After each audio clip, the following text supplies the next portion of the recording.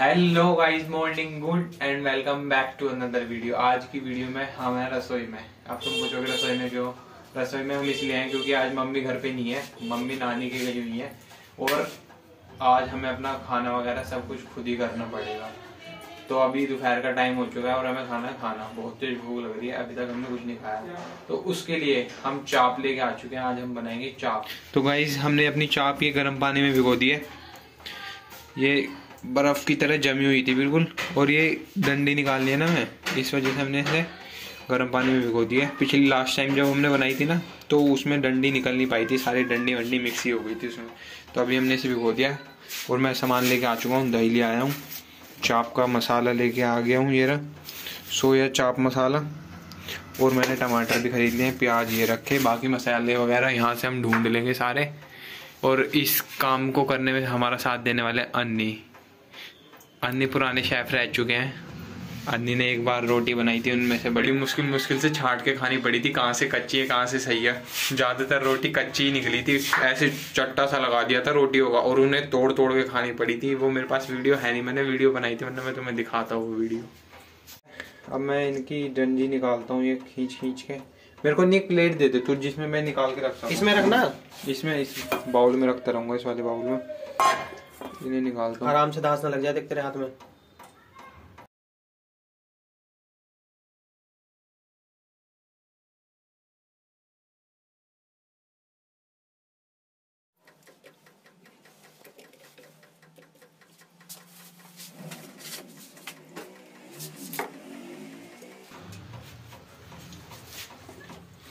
निकाल ली सारी चॉप बिल्कुल परफेक्ट तरीके से मैंने। मैंने ये खाली कर लिया और इसे बिल्कुल सुखा लिया। मैं तेल डालता हूँ गैस कम कर देता हूँ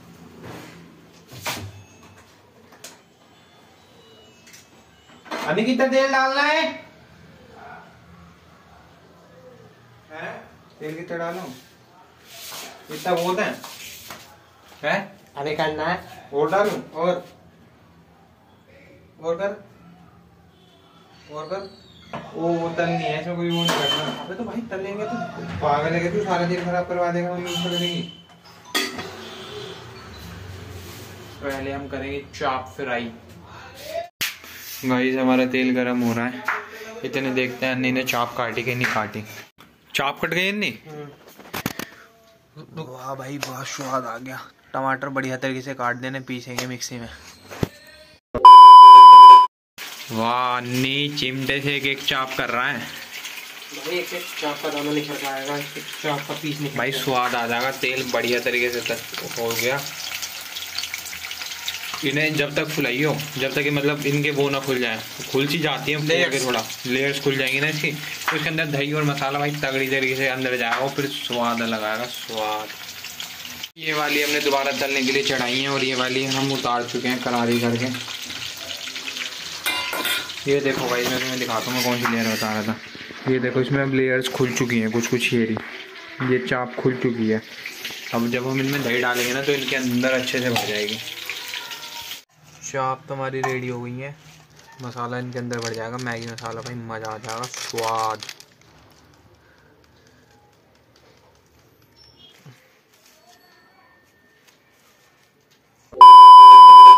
क्या? निकल देगा क्या कर रहा है? भाई, ये प्याज भून दे। टमाटर में ऐसे पीस लेंगे। इस तरीके से चल रही है हमारी किचन कुछ। तुम देख सकते हो, चाप में दही वही मिला कर बिल्कुल बेहतरीन कर दिया स्वाद आ जाएगा खाने में, बिल्कुल मज़ा आ जाएगा। हाँ खुशबू आ रही है, मेरा मन तो कर रहा है खा लूँ, पर अन्नी के बार बार कहता है, ओए, मत खा, कम बढ़ जाएगी। मैंने कहा, ठीक है भाई, होता है, जब खुद बनाते हैं ना तो ऐसा लगता है कि बाद में ही खाएँगे एक साथ बैठ के। हमने अब प्याज चढ़ा दिए हैं। वो प्याज चढ़ा दिए हमने, तेल में, इन्हें फ्राई करके।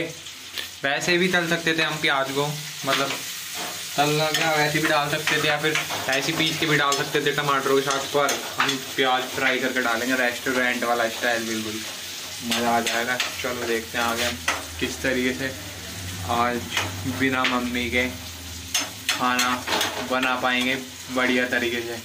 और वैसे मेरे को ऐसे लग रहा है मम्मी जब होती है तो अभी दाल वाल ही खा रहे होते हैं। अब मम्मी नहीं है तो कम से कम चाप चल रही है चाप कौन बनवा रहा है? Bro bro in the house under the guidance of bro we are making chaap भाई एक एक चाप रखनी पड़ती है यार। स्ट्रेटजी है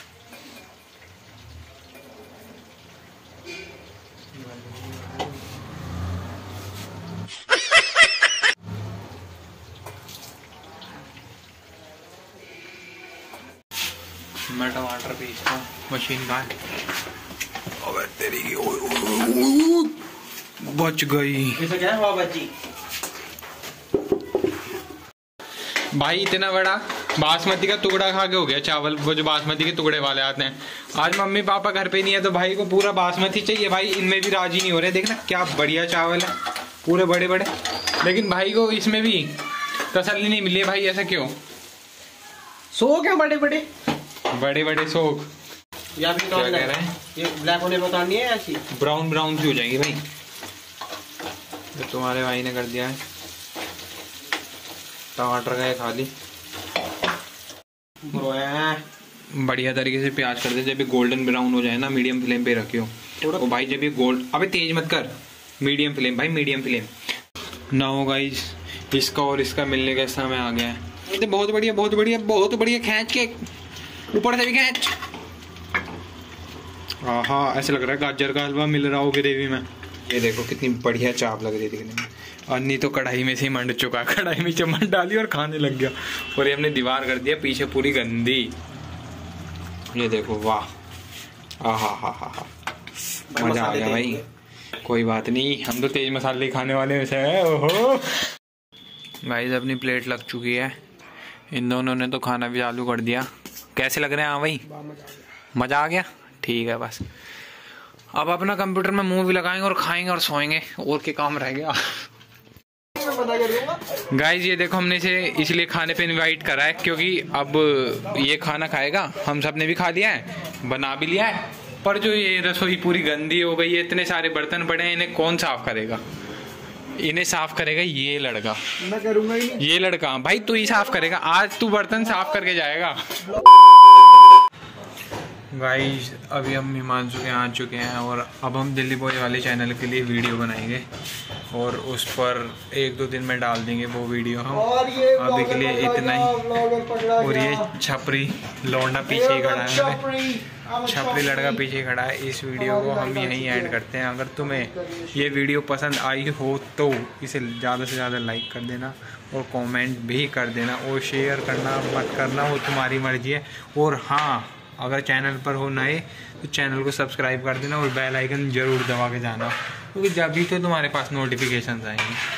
अभी के लिए इतना ही। मिलते हैं बाकी नेक्स्ट वीडियो में। ओके बाय ਓ ਦੇਸੀ ਮੁੰਡੇ ਕੁੜੇ ਅੱਜ ਨਾਲੇ ਵੱਲ ਦੇ ਦੁਨੀਆ ਐ ਘੁੰਮੀ ਨਾ ਤੂੰ ਜਾਣੀ ਕੱਲ ਦੇ।